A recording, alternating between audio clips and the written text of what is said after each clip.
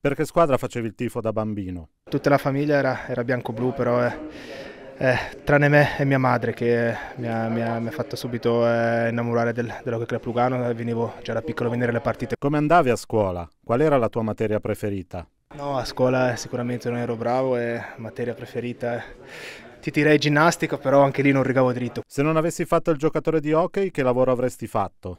Ma penso un altro sport, eh, lavorativamente non, al momento non mi vedo. Eh. Qual è il momento più bello della tua carriera? Sicuramente il debutto alla Berna Arena, eh. mi ricordo che eh, avevo giocato il venerdì con gli Elite proprio a Berna e nel, nel viaggio di ritorno eh, mi ricordo che Juras mi aveva chiamato per andare a fare l'esordio in prima squadra a Berna poi sicuramente il primo gol in Serie A a Davos. Che canzone ascolti prima delle partite? Mi ricordo quando c'era ancora la vecchia guardia, la vecchia guardia si ascoltava tanto ACDC e Guns N' Roses e adesso ci siamo spostati un po' più sulla techno, sull'house. Nel tempo libero cosa ti piace fare? Mi piace molto pescare, mi piace stare nella natura, mi piace molto anche andare a giocare funghi e stare con amici. Qual è il tuo piatto preferito? Ah, io sono molto, molto carnivoro, però eh, eh, mi piace molto anche quando, quando vado soprattutto eh, in località dove, dove, c'è il mare, dove c'è il lago, anche molto eh, spaghetto allo scoglio. Chi è il più intelligente? Arco, Arco, Arco, penso che eh, è veramente incredibile come ho imparato l'italiano in questi, in questi due anni.